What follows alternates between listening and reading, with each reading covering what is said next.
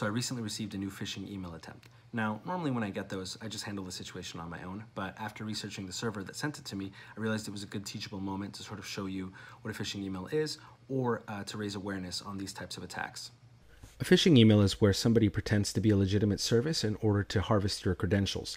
Now, what's happening here is somebody is pretending to be Gmail and asking me to recover my password because apparently my account has been locked.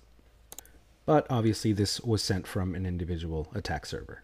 If experience has taught me anything, it's that most of these attack servers are always misconfigured. For instance, this scammer accidentally indexed his entire server.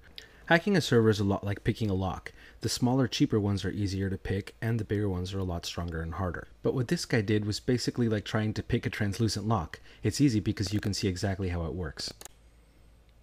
Now looking at the server source code, there's two functions here. The first one is designed to lull you into a false sense of security.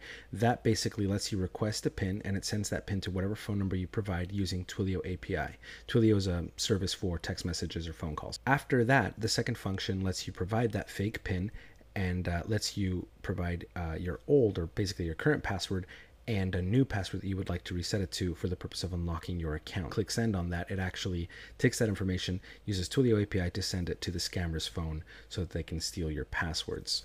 Now, I just want to mention every single text message that gets sent from this account is costing the scammer 0.0075 cents. Now, let's go ahead and go back to that first function after the server sends you your initial pin, if you happen to reply to that text message, basically the server then goes ahead and replies to you with a brand new pin, which gave me the bright idea to put the server's phone number as the pin requester.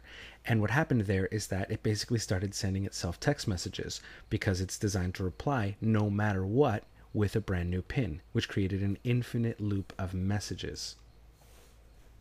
So when I did this, I was actually at the airport and I had a flight to catch. So I let it run, and by the time I landed, the phishing page was down, but the server was still up. So I checked the log, and uh, it looks like it was able to send 84,266 text messages, which basically roughly translates to about $632.